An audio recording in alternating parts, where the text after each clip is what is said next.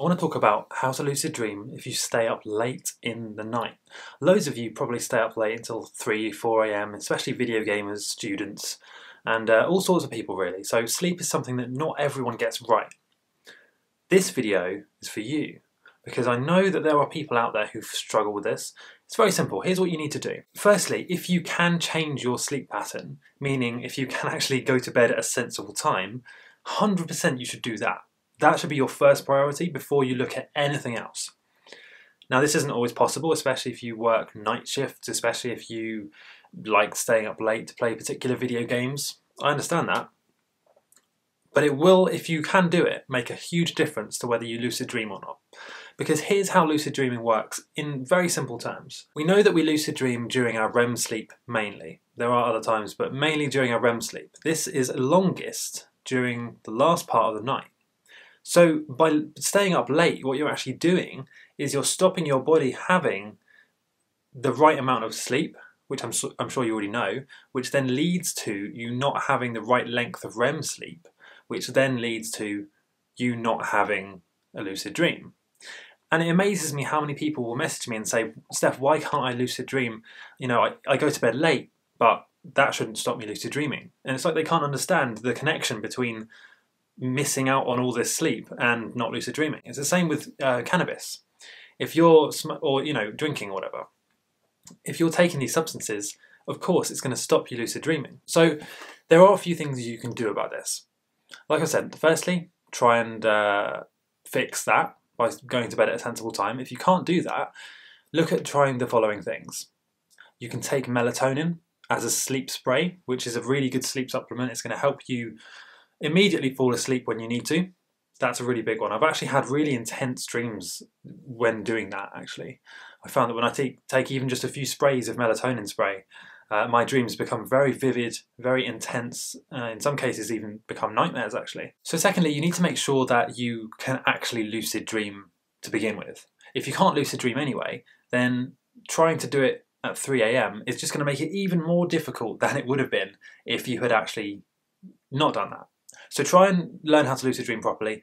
You know, watch the other videos on my channel, learn how, learn about reality checks and techniques and that sort of, that sort of thing. And once you are in the are in a position where you're taking melatonin, you know how to lucid dream.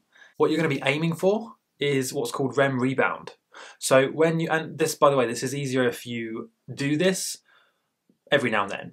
You can't lucid dream all, every night, and you by by going to bed late you're going to massively hold yourself back and you won't be able to lucid dream as often as uh, someone who doesn't do that right? But the best case scenario you can go for what's called REM rebound. When you deprive your body of REM sleep meaning when you stay up until 4am and then you go to sleep and then you might wake up at 10 for example that's not enough time to sleep of course. That's not your full 8 to 9 hours. So your body will be lacking the right amount of REM sleep your body will be in what's called a sleep debt. And this means that the body, when, when you do actually go to sleep, will try and claw back that REM sleep and give you a, a longer chunk of REM sleep to sort of make up for the sleep that you're losing. So, in theory, you should be able to lucid dream more or less the same as someone who doesn't stay up late. So, it's one of those things where there's going to be people who stay up late and they find that they can't lucid dream at all. And there's going to be people who stay up late and find that they have no problem lucid dreaming because they have that REM rebound effect. It does vary from, from person to person, but what I would say is you will be holding yourself back by staying up late. That's a fact. And you can make it easier and more likely by doing things like reality checking more often, especially in the early hours of the morning as you're getting ready for, to go to bed and you as you're getting ready to go to sleep. Now, here's the most important tip of all. If you stay up late and if you are trying to lucid dream but you're finding it hard, the hormone melatonin is going to play a huge part in whether or not you can lucid dream. Melatonin is what helps keep us sleepy, relaxed, calm, and sedated. It's why that's why it's such an effective sleep supplement, like I suggested earlier but you can actually use your own body's biology and chemistry to naturally have more melatonin in your system, which is then going to let you lucid dream more often. Here's how you do it. So this is a pair of blue light blocking glasses, biohacking glasses. And if I just show you uh, just the right angle, you might actually be able to see how there's a blue tint to the lens. Hopefully you can see that. Now what this means is that if you put these on in the evening, what will happen is you you're going to be stopping blue light from entering your eyes, like for example from this lighting here, from the light above me, whatever, the blue light from those sources enters your retinas and stops your body producing melatonin. So if you're video gaming up until 4am and you're not wearing a pair of glasses like these, then you're going to have a very hard time producing enough melatonin to actually fall asleep and lucid dream. And hopefully you can see that yeah, yeah, the pair of glasses like that, the biohacking glasses, um, very cheap. They're like they're less than ten dollars on Amazon. I'll put a link in the description to the ones that I use, but th they're very cheap. And by doing that, so the, the goal is to wear those as soon as the sun goes down. When the sun goes down, you put the glasses on.